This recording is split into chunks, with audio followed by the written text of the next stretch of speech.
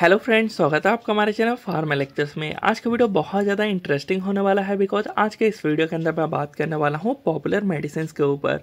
तो ये part two होने वाला है बिकॉज़ पार्ट वन ऑलरेडी मैंने कवर अप कर रखा है। अगर आपको वो वीडियो देखना हो तो इस वीडियो के बाद वो वीडियो भी जाके देख सकते हो डिस्क्रिप्शन में लिंक मिल जाएगा। तो यहाँ पर मैं बात करने वाला हूँ कि ये जितने भी आप मेडिसिन देखोगे वीडियो के अंदर, ये सभी के सभी आपके नियर बाई मार्केट में अवेलेबल है और इनका जो है बहुत ज़्यादा यूज़ किया जाता है। डॉक्टर इन्हें बहुत ज़्यादा प्रिस्क्राइब भी करते हैं। तो हम ये समझेंगे कि आखिर इन मेडिसिन के अंदर क्या क्या सॉल्ट है और जो सॉल्ट है यानी कॉम्पोजिशन है, उसके फ़ायदे तो होते ही हैं तो उसी के अकॉर्डिंग हम समझेंगे कि इन टैबलेट कैप्सूल या सिरप्स के क्या क्या बेनिफिट्स हैं। तो इस वजह से ये बहुत ज़्यादा इंटरेस्टिंग बन जाता है। तो मेरा नाम हुसैन है, स्वागत है आपका हमारे चैनल फार्मा लेक्चर्स में। वीडियो को स्टार्ट कर लेते हैं। सबसे पहले यहाँ पर हम देख लेते हैं ली फिफ्टी टू और Liv fifty two D S आखिर इन दोनों के बीच डिफरेंस क्या है?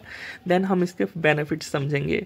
तो ले फिफ्टी टू के अंदर जो कॉम्पोजिशन है, जो हर्बल कॉम्पोजिशन है, वो डबल क्वांटिटी में प्रेजेंट होता है लिप फिफ्टी टू डी के अंदर और कोई डिफरेंस नहीं है। अब यहाँ पे हर्बल न्यूट्रिशन सप्लीमेंट है, जो कि मेनली आपका जो लीवर है ना, इस पर काम करता है कि आपके लीवर को हेल्दी रखने का काम करता है। बिकॉज़ आपको पता है कि आपका लीवर कितना ज़्यादा इंपॉर्टेंट है मेटाबॉलिज्म करने के लिए। इस वजह से। तो जो हमारा लीवर है, इसके जो डैमेज के अगर स्टेजेस के बारे में बात करें तो यहाँ पे देख सकते हो जो हमारा हेल्दी लीवर है, सबसे पहले फैटी लीवर में और लीवर फिब्रोसिस और लास्ट में सिरोसिस में कन्वर्ट होता है। जो कि अब समझो कि ये लास्ट स्टेज हो गया, जिससे आपका जो लीवर है एकदम ख़त्म हो जाएगा डेड हो जाएगा। तो उस टाइम पे जो है लिव फिफ्टी टू का बहुत ज़्यादा यूज़ किया जाता है कि ये आपके viral hepatitis early cirrhosis early cirrhosis के बारे में बात करें बिकॉज़ जो सीरोसिस कंडीशन है, ये लास्ट एकदम स्टेज है, यहाँ पे आपका लीवर जो है एकदम ख़त्म हो चुका है, समझो। इसके अलावा प्री सिरोटिक कंडीशन या अल्कोहलिक लीवर डिसऑर्डर्स हो गया लीवर आपका डैमेज है, या फिर फैटी लीवर है, या फिर आपको जॉन्डिस हो रखा है जॉन्डिस के टाइम पर भी आपको पता है लीवर हमारा स्वेल हो जाता है। इसके अलावा बिलरूबिन का लेवल भी हाई हो जाता है। इसके अलावा लॉस ऑफ़ एपेटाइट यानी जो आपका भूख जो है ना, मर गया है, यानी जो आपको भूख लगता था पहले, वो अब नहीं लग रहा है। तो उसको रिकवर करवाएगा रीजनरेट करवाएगा ये लिव फिफ्टी टू इसकी वजह से आपका जो है वो बॉडी वेट गेन भी होता है एक तरीके से। तो इसको बहुत ज़्यादा यूज़ करते हैं जिम वाले ख़ास तौर पे इसका यूज़ करते ही है। सो so, नेक्स्ट हम बात करने वाले हैं यहाँ पे अनवांटेड 72 यहाँ पे आखिर ये क्या है 72 और इसके अंदर जो ये लिवोनॉर्जेस्ट्रेल है ये क्या है? तो सबसे पहले मैं बात करूँ कि ये 72 क्या है? तो जो ये टैबलेट है ना अनवांटेड 72 इसको 72 आवर्स से पहले लेना है।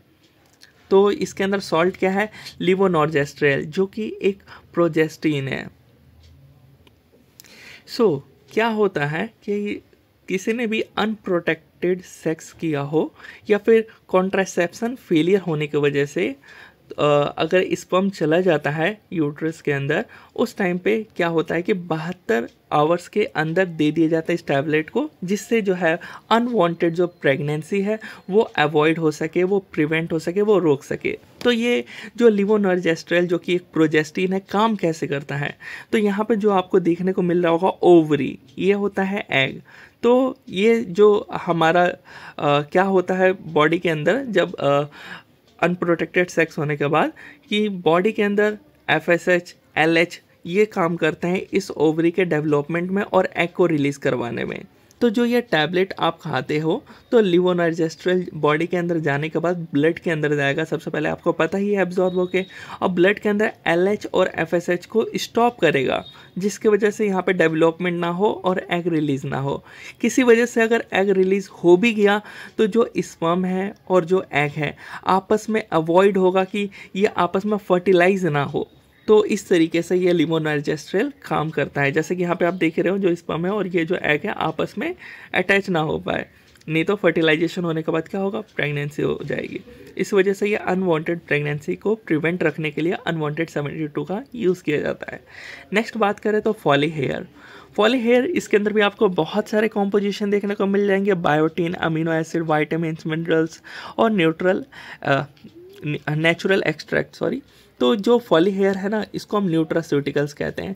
न्यूट्रास्यूटिकल जहाँ भी आपको देखने को मिल जाए, आप समझ जाओ, उसके अंदर न्यूट्रिशनल मतलब मल्टी वाइटामिन मल्टी मिनरल्स हैं। अलग अलग वाइटामिन अलग अलग मिनरल्स हैं, जिसकी वजह से उसको न्यूट्रास्यूटिकल्स बोला जाता है।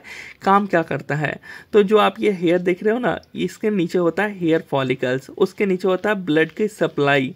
तो ब्लड की सप्लाई में जो ये न्यूट्र मिनरल्स और वाइटामिन जो आप देख रहे हो ना, वो ब्लड के थ्रू पहुंचेगा फॉलिकल्स तक, जिसकी वजह से जो आपका ये हेयर फॉल हो रहा है, ये कम हो पाए और स्ट्रेंथ मिल पाए। बिकॉज़ कमी हो चुकी है ना वाइटामिन मिनरल्स के जो जो चाहिए हेयर फॉलिकल्स को तो उसकी वजह से ये आपका हेयर फॉल होता है और ये जो फॉली हेयर है, वो काम करता है रिड्यूस करने के लिए और आपके हेयर को स्ट्रॉन्ग प्रोवाइड करवाने के लिए।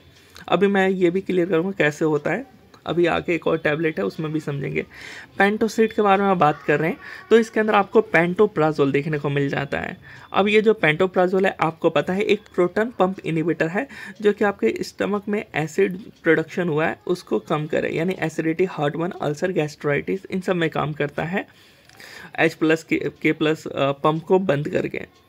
तो यहाँ पे नेक्स्ट बात करें तो डेल्को फ्लेक्स इसके अंदर आपको बीसा कोडेल देखने को मिल जाएगा, जो कि एक लेग्जेटिव है, यानी जो आपका क्लियर नहीं हो पा रहा है वॉशरूम यानी स्टूल नहीं निकल पा रहा है उसको हम कॉन्स्टिपेशन कहते हैं, और उसी के ट्रीटमेंट के लिए इस टैबलेट को दिया जाता है कि लेग्जेटिव है और लेग्जेटिव होने की वजह से निकाले। मतलब कि सॉफ्ट कर दे स्टूल को, जिसकी वजह से आप इजीली कर पाओ।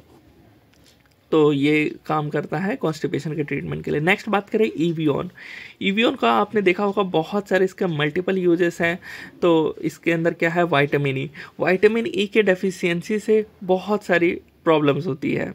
तो उसको फुलफ़िल करने का। तो यहाँ पे देख सकते हो, जो आपके आइज़ के नीचे ये ब्लैकिश आ जाता है तो इसको रिमूव करने के लिए और जो झुर्रिया है चेहरे पे, उसको हटाने के लिए जो आप वाइटामिन ई की कमी से ही आपको धुंधलापन दिखता है, उसको भी ठीक करने के लिए। इसके अलावा जो आपके ब्रेन हेल्थ के लिए बहुत ज़्यादा इंपॉर्टेंट होता है वाइटामिन ई ताकि अपना ब्रेन जो है वो प्रॉपर फ़ंक्शन कर पाए। हेयर फॉलिकल मतलब हेयर फॉल हो रहा है, उस टाइम पे भी इसको लोग यूज़ करते हैं। इसको खाते भी हैं और इसको कट करके लगाते भी हैं हेयर्स में। तो ये हो गया इसके बारे में।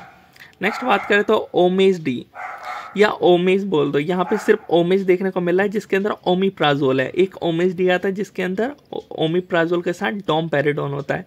ये डी लगाने से क्या हो गया? डोम पैराडोन और वो उल्टी में भी काम आएगा, और आपका जो एसिडिटी है, उसमें भी काम आएगा। और ये जो आप देख रहे हो ओमेज है सिर्फ़ और सिर्फ़ तो ये सिर्फ़ और सिर्फ़ एसिडिटी हार्टमन अल्सर, गैस्ट्राइटिस। अगर ओमेज डी होता तो वो वॉमिटिंग में भी आता। तो ये हो गया इसके बारे में। नेक्स्ट बात करें ईको स्प्रेन 75 इसके अंदर आपको एस्प्रिन देखने को मिल जाएगा, जो कि एक एंटी प्लेटलेट ड्रग होता है। अब एंटी प्लेटलेट ड्रग का काम होता है कि जो यहाँ पे प्लेटलेट्स का क्लॉट मतलब कि ब्लड का क्लॉट बन चुका है, ये देख रहे हो यहाँ पे तो इसको हटाने का काम करेगा। अगर ये नहीं हटाया जाए तो ब्लड की सप्लाई आगे तक नहीं पहुँचेगी ना हार्ट तक नहीं पहुँचेगा ब्लड की सप्लाई जो हमारा हार्ट पंप करता है ब्लड पूरे बॉडी में सर्कुलेट होकर हार्ट में तो आता है ना तो वो वापस नहीं आएगा तो हार्ट अटैक बनेगा ना। यहाँ पे सॉरी यहाँ पे चेंज कर लीजिएगा एस्प्रीन होगा यहाँ पे तो ये हार्ट अटैक हो जाएगा और स्ट्रोक्स और एंजाइना तो इस टाइम पे जो है इको स्प्रिन दिया जाता है जिससे अपना स्प्रिन जो है एस्प्रिन जो है वो काम करे और ये क्लॉट्स जो है उसको हटाएँ। तो प्लेटलेट जो होते हैं वो आपस में आकर के ये ब्लड का क्लॉट फॉर्म कर लेते हैं तो उसी को हटाने का काम करता है। कई बार कट लगता है ना हमें हाथ पैरों में तो उस टाइम पे भी ये क्लॉट बनता है। सो so, यहाँ पे ये कंप्लीट होता है और यहाँ पे यहाँ पे यहाँ पे भी देख सकते हो जो मैं बता रहा था थोड़ा बहुत आपको कि हमारा ये देखो यहाँ पे होता है हमारा हेयर फॉलिकल सबसे नीचे वाला आप देख रहे हो और यहाँ से इसके अलावा सबसे नीचे ब्लड वेसल देख रहे हो ना, इसी के थ्रू यहाँ तक पहुँचेगा आपका जो न्यूट्रिशनल सप्लीमेंट है। यानी जो मल्टीवाइटामिन मल्टी मिनरल है बायोटीन है, वो सब यहाँ पे पहुँचेंगे इस, इसके पास, जिसकी वजह से यहाँ पे ये स्ट्रेंथ प्रोवाइड करवा पाएगा। मेनली इसी की कमी की वजह से आपका हेयर फॉलिकल होता है। तो आई होप आपको ये वीडियो अच्छा लगा वीडियो अच्छा लगा हमारे इस वीडियो को लाइक करें, हमारे चैनल को सब्सक्राइब करें। ऐसे इंटरेस्टिंग वीडियो आती रहती है तो मिलते हैं नेक्स्ट